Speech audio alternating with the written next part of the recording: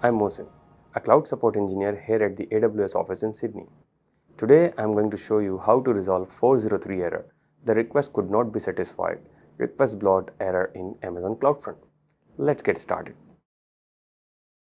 The error message 403 error, the request could not be satisfied, request blocked is an error from the client. This error can occur because of the default actions of AWS WAF rules associated with the CloudFront distribution. Let's go through the steps to resolve it. Open the CloudFront console. Select the ID for the distribution that you want to update. Open the Security tab. Under Settings, there is a list of AWS WAF ACLs that are attached to distribution. Select the Web ACL that requires review.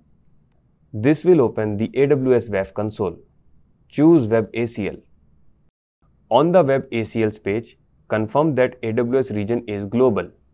Now choose the Web ACL that requires review. Go to the Rules tab and then check if the AWS Web default action is set to allow or block on this Web ACL. To resolve the request block error, when the default action is allow, review the requests.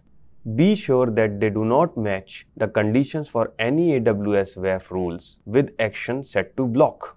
If valid requests match the conditions for a rule that blocks request, then update the rule to allow the request. To resolve the request blocked error, when the default action is blocked, review the request. Be sure that they match the conditions for any AWS WAF rules with action set to allow. If valid requests do not match any existing rules that allow requests, then create a rule that allows the request. Now requests from that IP address range shouldn't get blocked by this web ACL. And now you know how to resolve the 403 the request could not be satisfied request blocked error in CloudFront. Thanks for watching and happy cloud computing from all of us here at AWS. Goodbye.